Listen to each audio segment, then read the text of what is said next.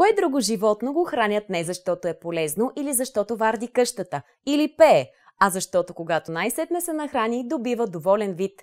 И мърка. Мъркането е много важно. В мъркането е смисълът. Направи ме щастлив и аз ще те направя щастлив.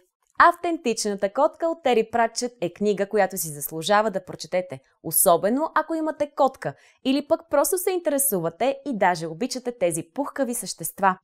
Сър Тери Пратчет ви убеждава, че истинските котки не са просто хладнокръвни, нито пък просто невротични.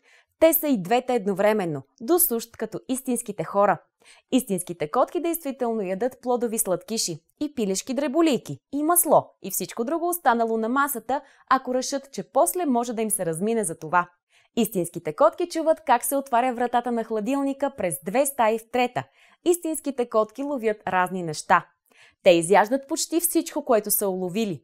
Целта на истинската котка е да си живее живота мирно и тихо, с възможно най-малка намеса от страна на човешките същества. Всъщност, почти като при истинските хора, игрите, които котките играят са котешки шах и да бъдем добрички. Автентичната котка се чете бързо, иллюстрирана е с забавни случки и е чудесен начин да прекарате няколко часа и да се посмеете, докато котката ви мърка в скута.